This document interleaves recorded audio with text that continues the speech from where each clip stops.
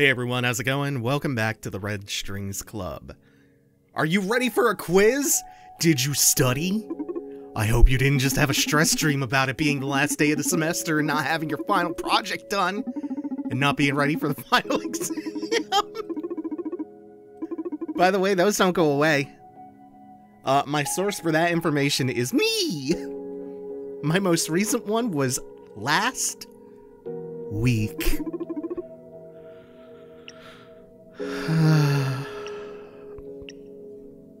so, what's her top priority? It's finding Yana Septis, one of the executives that we worked on during Akara's sequence. Doesn't know about the mirror neuron algorithm.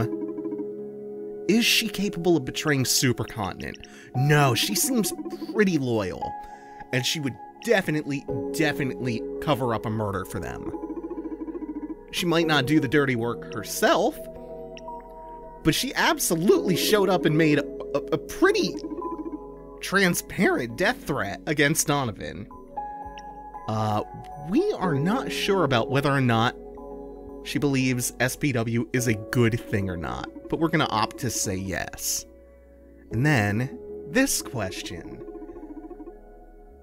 This harkens back to what she was saying about the terms of service.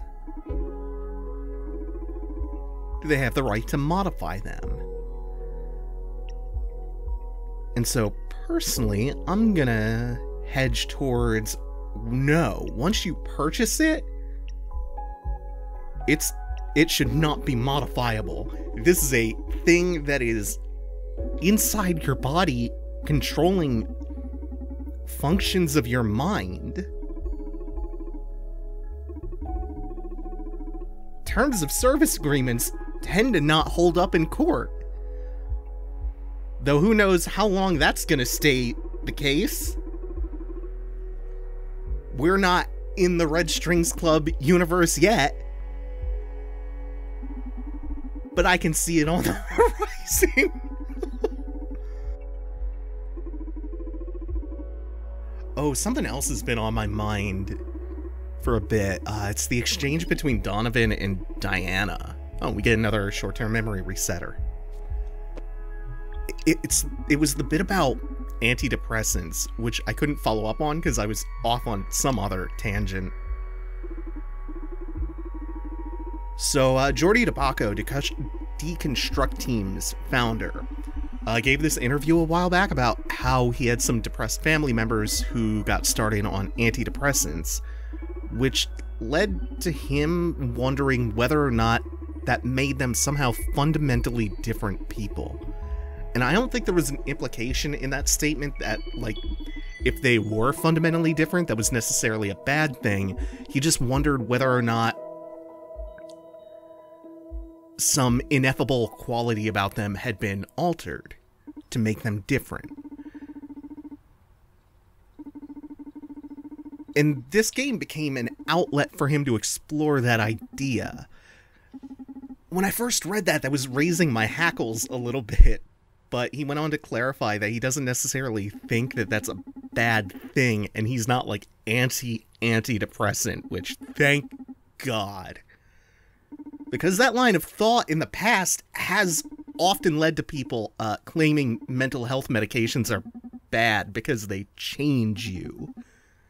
But that specific change is removing or eroding a barrier to living a full, fulfilling, content life. If you need an antidepressant because you're, you know, depressed, talk to your doctor about going on an antidepressant.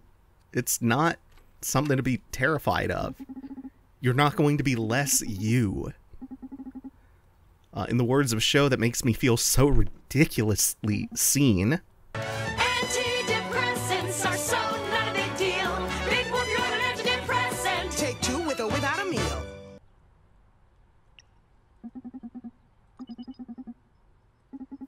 Oh, yeah, and we're going to take her knowledge instead of her determination. This isn't a huge choice like you would think, but uh, it does play into some later sequences.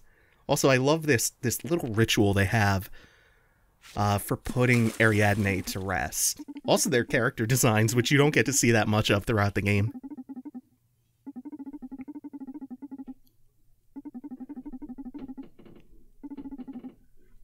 Uh, about the antidepressants, yeah, give it a month or two, see how you feel, and if it's not working out, try another one if you need it.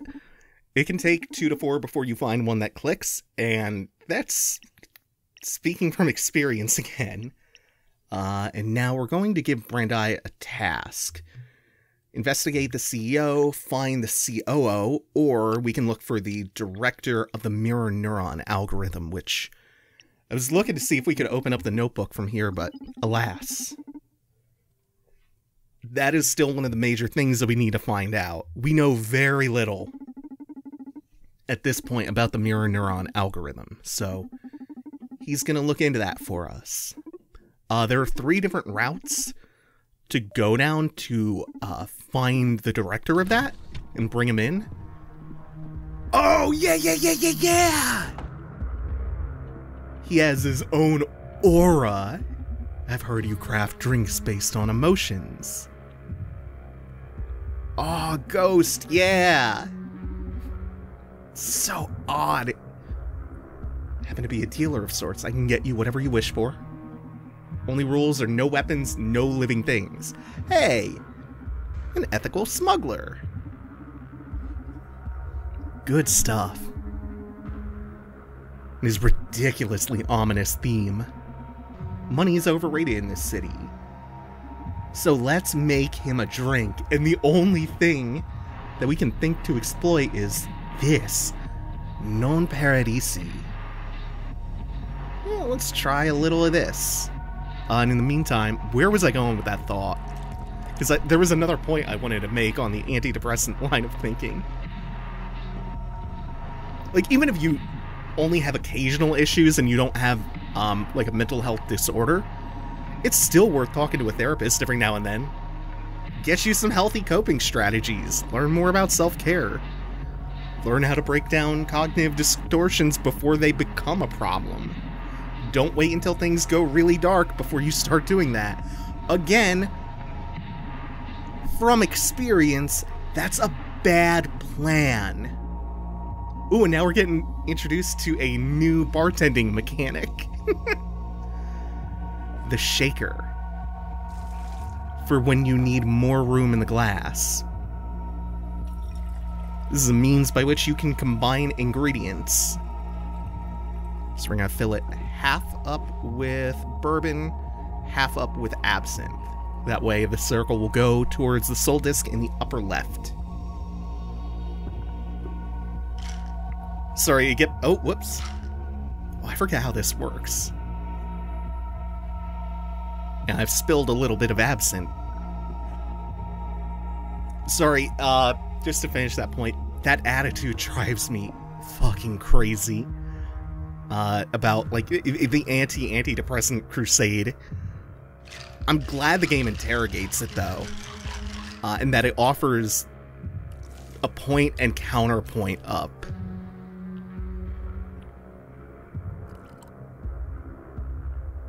This is quite effective at moving the circle. Perfect. Let's see. Oh, yeah. Yeah, yeah, yeah. He's got telekinetic powers, apparently. Did you see the glass just float into his hand? It's really unclear the degree to which magic exists in this world. Because Donovan's very into the mysticism of this whole thing, and it's not clear whether or not that's a thing. But Gost here sure does make it seem like there's actual literal magic going on. And now Donovan's trying to source two new exotic spirits from him. The old owner of the Red Strings Club used to have these two bottles handy, but he's since run out and haven't and hasn't been able to restock. So Gost, in exchange for that delicious cocktail that we mixed for him, or for them, is gonna get us some. That was a bit intense. Quiz time then? No. I can't. I was unable to read the subject. Who is he?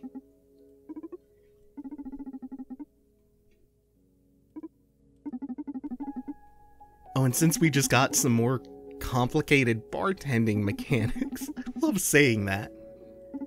It's so nifty that this is a mode of gameplay. I just think it's neat. the story of how uh, the Red Strings Club came to be actually ties into this. And it's really interesting because almost four years before this game came out, they released Gods Will Be Watching. Uh, and then they went on to cancel two of their of their big games that were in development, uh, two in a row, plus some other smaller projects too. And they didn't have much money to keep the studio going aside from the legs from uh, their first game. What they did have was a lot of prototypes that they came up with for various game jams. Oh, Larissa! Larissa, the supercontinent uh, marketer. Oh, yeah! She rules. She is the horniest human being on Earth. Yeah, Larissa! Hell yeah. So what they did was uh they had a they had a lot of prototypes is what they had that they had come up with for all these game jams. And instead of just running with one of them and fleshing one out, they made a gumbo out of a bunch of them. And one of them was one of them was about pottery, one of them was about bartending, and one of them heavily featured another mechanic uh, that if I talk about it, it's actually going to spoil something we'll see later. And so, after a lot of brainstorming, the common thread they found was all of their mechanics were about manipulating people, and that dovetailed into the direction they decided to go with for the story.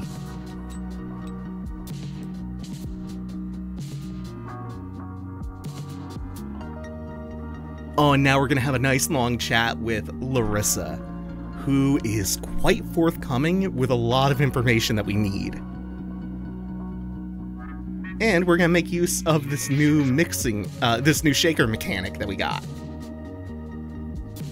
This club is haunted. I'm a prisoner of the red strings. That carries a lot more weight as a, as a sentence, or as a thing that he believes after the meeting with Gost. And yeah, it does seem kind of magical the way we are weaving the red strings in our cocktail mixing. She is so horny. it's great.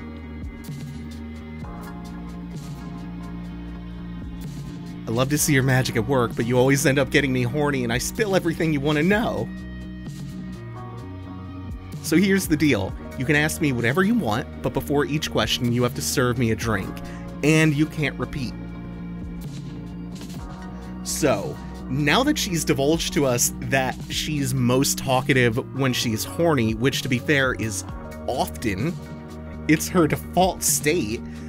Uh, whatever our most pressing question is, should be the one uh, that comes right after we have served her something that. Oops. Something that will bring that horniness out.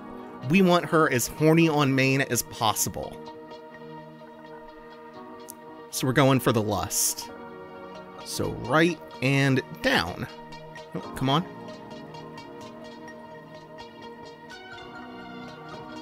And now we shake the uh, the problem that I was running into earlier is that I was keeping the mouse button held down while shaking which is what was causing it to spill out. Now we only need a little bit. A little bit goes a long way. That should be good. Get the ice. Oh shit. Um.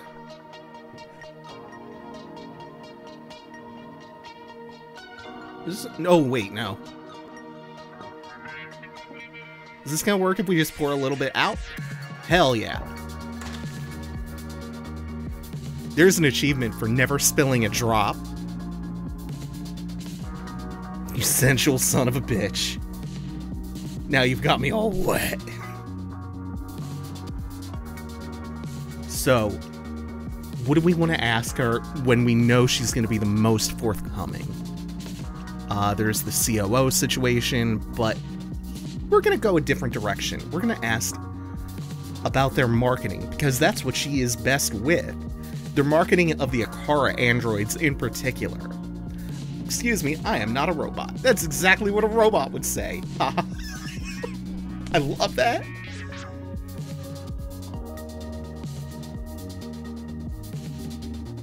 So now I'm cute with those innocent questions dripping with poison.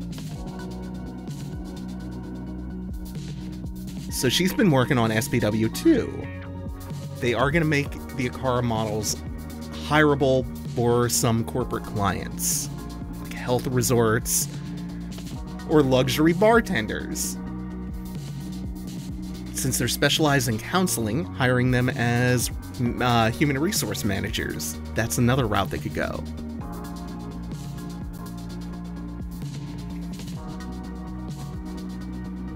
and she wants to tell us more. She gets really talkative. Do you know Dr. Edgar Coldstream? You should, he's the creator of Akara. Yeah, sounds like a guy I'd love to meet. I'll tell him to come by. Hell yeah. He is the person that Diana, uh, I think, I think the question was idolizes or was her mentor or something to that extent. Uh, he's the answer to that one. But since we didn't talk to Diana about Edgar Coldstream, uh, we couldn't have answered that question correctly, even if we wanted to. Even if you know the answer to the question from outside the game. Okay, so next up, new question, new cocktail. Make sure it's nice and mixed. Good, good, good. It's a little far. We might... Oh no, we don't have to pour any of it out. Hey, that's really generous.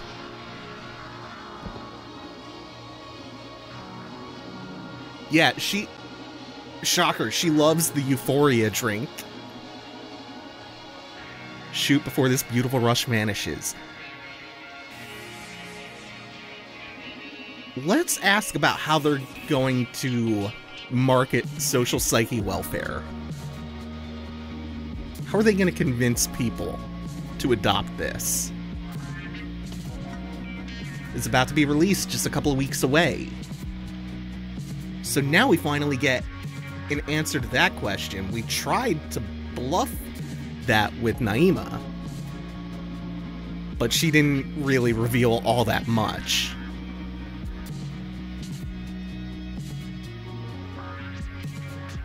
Now we have madness or depression. And since we're going to be hitting both of those notes, let's start with madness.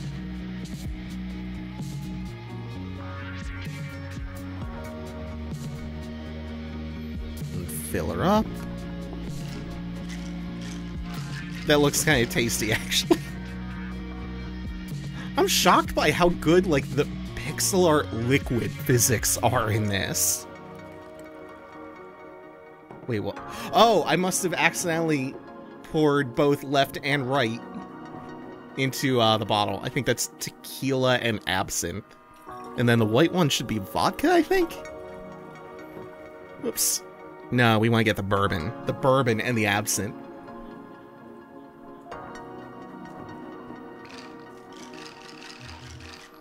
Yeah, get that nice amber piss color going. Mmm, tasty cocktail.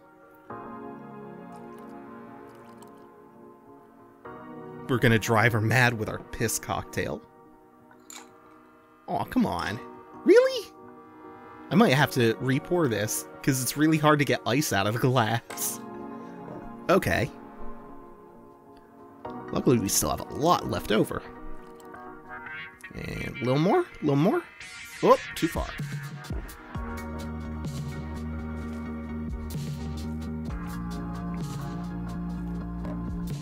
A little ice should do it.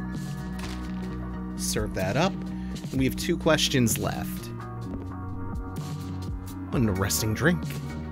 Makes me think of how we identify with our clothes and words, but they're not quite us as an identity. In the same way, we're not our dress, we're not our feet, we're not our belly buttons. We're not any of those particularities, but the sum of the whole. Same way my shoes aren't me, other people aren't me either. And you aren't me. So shoes, dress, toes, lipstick, blah blah blah, together aren't me, are me, we could say that you're me too.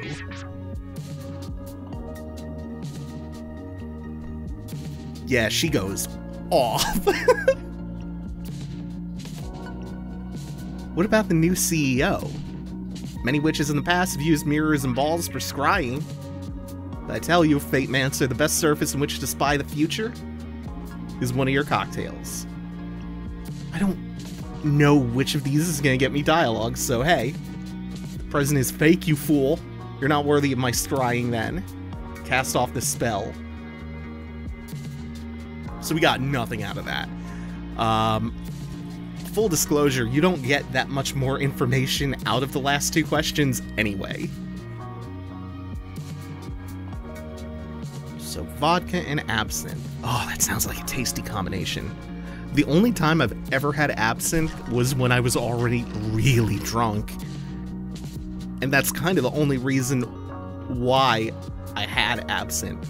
Because if I had been sober, uh, when the bartender at this bar crawl told me that the two shots of absinthe I ordered were like $50 or something, I would have not had absinthe that night. But by the point I had gotten there and ordered those two shots, I was already numb and unable to feel my body anyway. And I was definitely not up for the task of processing things like money.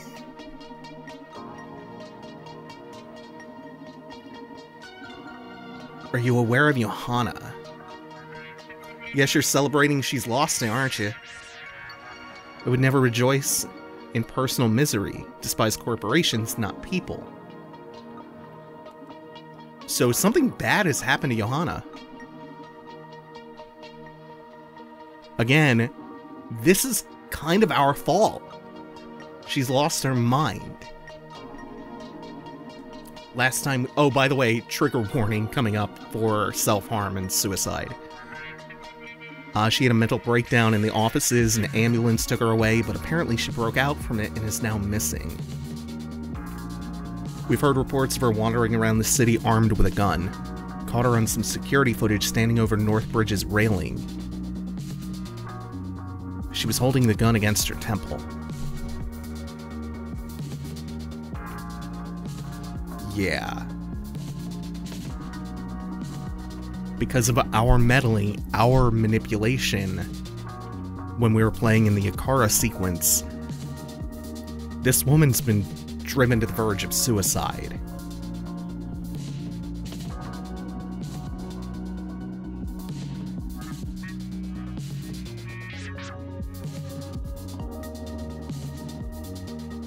Woof.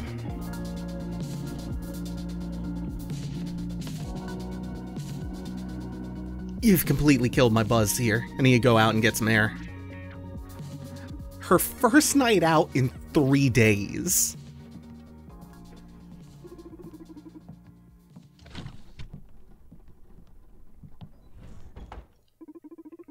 Her hedonic treadmill is all downhill.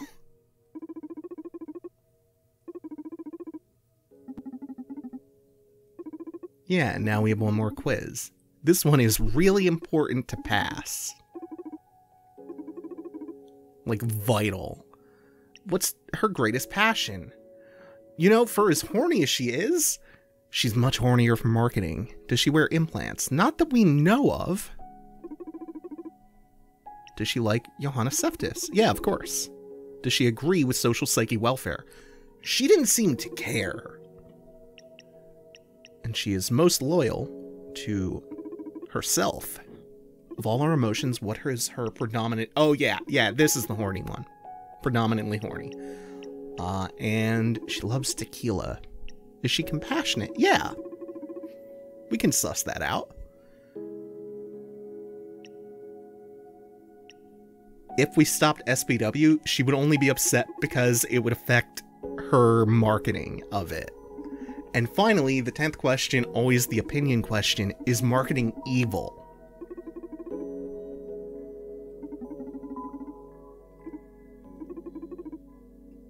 It depends. Marketing marketing can be done ethically. Nothing wrong about it. It's our responsibility to think critically. Yes, it attacks our personal autonomy and our right to self-determination. I think out of the three, the first one is closer to where I fall. It's propagandistic and to some pretty nefarious ends. But Akara brings up an interesting counterpoint.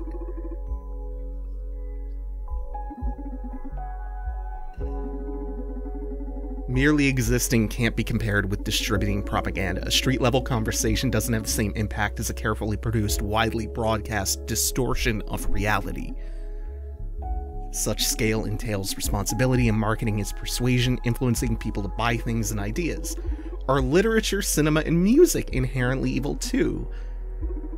I count them as carefully produced distortions of reality with the power to change minds. Yeah, but the problem is the substance. Art doesn't inherently want to persuade you into consumerism, while marketing is nothing but that.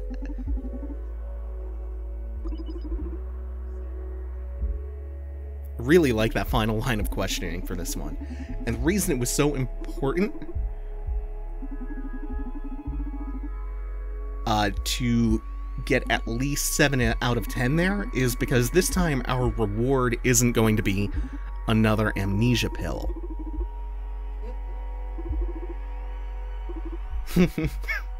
I love you. Wow, wasn't expecting to ever hear that from you.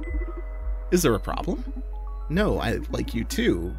Uh, what about the quiz results? Yeah, we got 10 out of 10. Good. Not a what, but a who is what we won. He's about to come through the door. Yeah! Yeah, yeah, yeah! Oh, this shithead! This absolute bastard, man! Okay, my favorite scene of the game is now coming up. It is imminent. But that's gonna have to be next time. Thank you all for watching. Take it easy. Have a good one, y'all.